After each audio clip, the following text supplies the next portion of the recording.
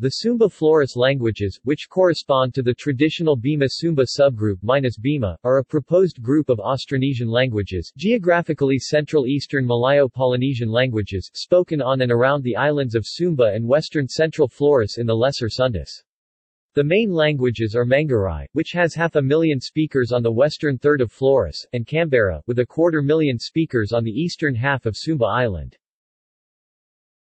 The Hawu language of Savu Island is suspected of having a non-Austronesian substratum, but perhaps not to any greater extent than the languages of Central and Eastern Flores, such as Sikka, or indeed of Central Malayo-Polynesian languages in general. Classification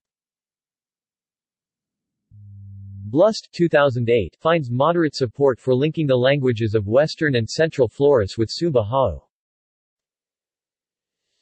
Sumba Flores Sumba Hawu